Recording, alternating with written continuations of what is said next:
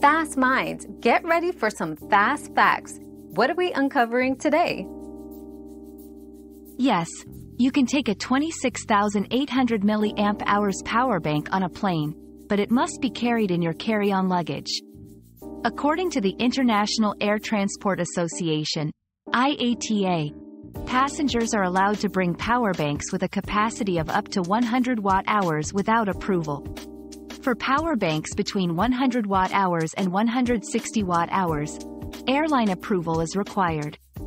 Since a 26,800 milliamp hours power bank is approximately 99.16 watt hours, assuming a 3.7 volts average lithium battery voltage, it falls within the permissible range without needing airline approval.